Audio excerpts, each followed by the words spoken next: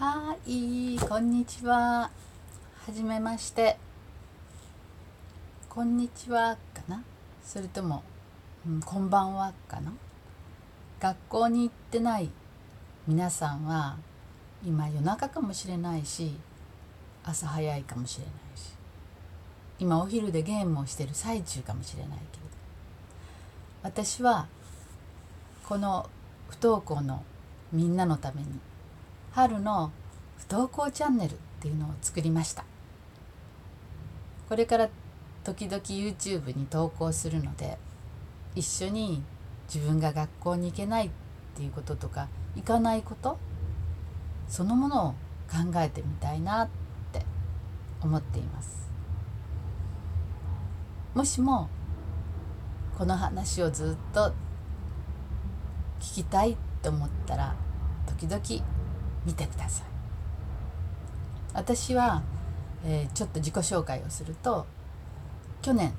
定年退職するまで不登校の子どもたちとかそれから発達障害って今よく言われるけれどもそういう子どもたちの相談相手をしていました。でその子たちが普通にクラスに通えている子よりもずっといろんな才能を持っているんだなっていうことに気がつきました才能があるから普通に学校に行ってもつまらなかったりみんなとちょっと違っているからいじめられてしまったりそんなことが理由で学校に行けなくなるっていう子たくさんいるんですね。それともう一つは成長期にすごく体のエネルギーを使って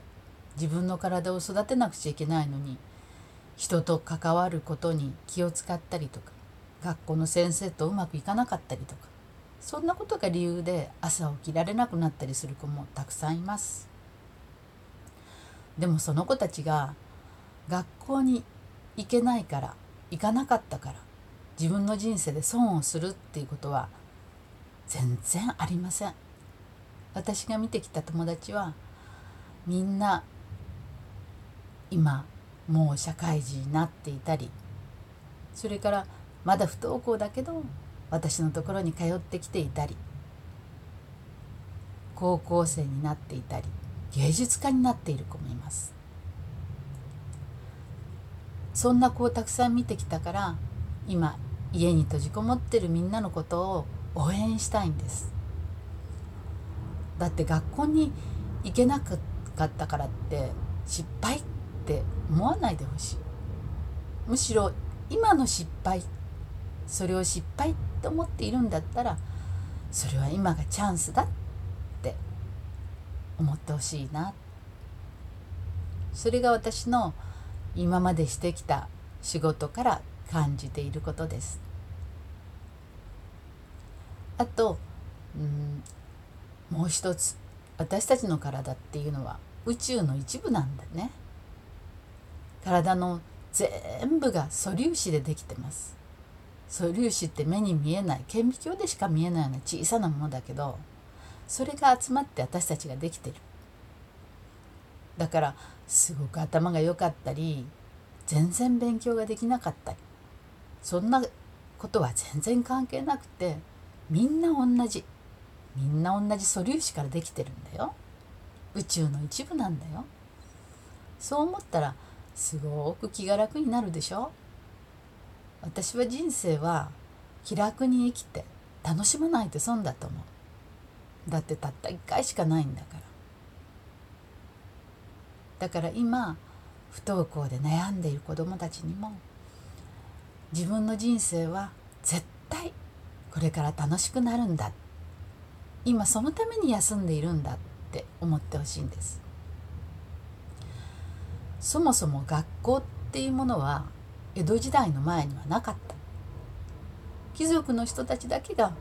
学問を教えてもらったりしていたんですね。そして江戸時代になってから初めて庶民に寺子屋っていう場所ができてそこで読み書き計算。今は計算っていうけれどもその頃はそろばんでしたね。そんなことを学べるようになったんです。で最もすごいなと思うのは日本語は話ができてひらがなが書けて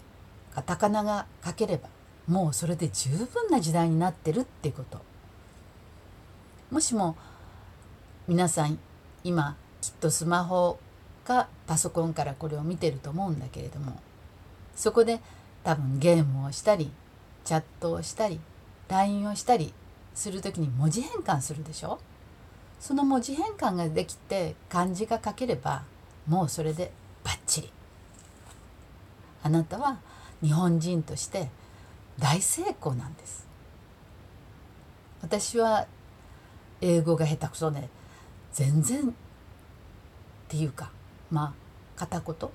ブロークン・イングリッシュっていう中学生程度の英語もろくすっぱ話せないんですけれどもそれでもね海外に行くとちゃんと通じるんです。それは何でかっていうと自分が話したいって気持ちがあるから。でちょっと単語を調べればその国の言葉がわかるし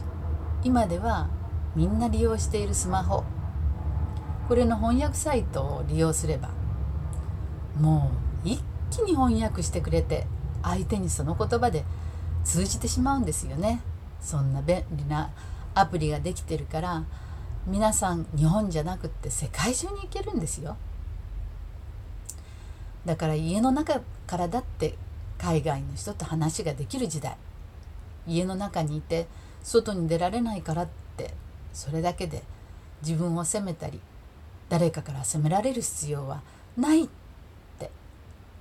それが私の伝えたいことです。今日の最後に一つだけすごいエピソードを話しますね。皆さんはレオナルド・ダ・ヴィンチっていうこと人を知ってますか？あのモナ・リザを描いた人です。あの人は建築家でもあったしそれから解剖学っていうすごい本をこの後のように残しているんですけれどもあんなに綺麗に人間の筋肉やそれから血管を書いた人はそれまで一人もいません。それから最近分かったことは心臓の血液の流れまで彼は長い時間をかけて調べているんですね。心臓の弁がどうやって開いたり閉じたりするか。最近やっと分かったことをレオナルド・ダ・ヴィンチは絵にして残しているんです。その彼は本当は学校に行っていなかったんです。家が貧しくて学校に行かせてもらえなかったっていうこともあるし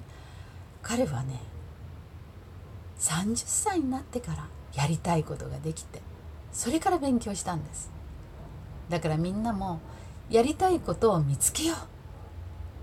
何でもいいんですよ。私は今カマキリの卵を集めるのが趣味。冬の間に剪定したりしたところにカマキリの卵があったらそれをそっと枝ごと切って箱の中に入れておいて春になったら自然に返してやります。カマキリって害虫を食べてくれたりするからそんな風に何か一つ自分の好きなこと昆虫の嫌いな人はそんなことしなくていいよ。絵を描いたりそれからゲームをしたり将棋とか囲碁もあるしトランプもあるし一人ででできるゲームたくさんありますよね。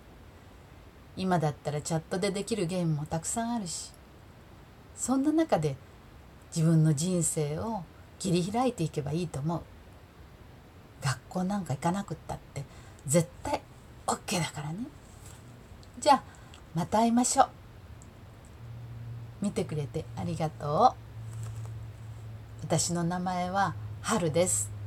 はるチャンネル。覚えておいてね。